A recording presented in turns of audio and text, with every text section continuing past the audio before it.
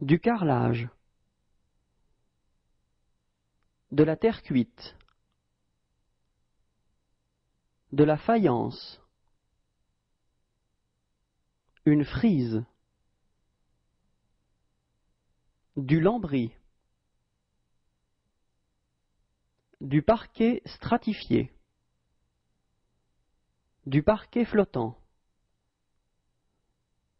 du parquet massif.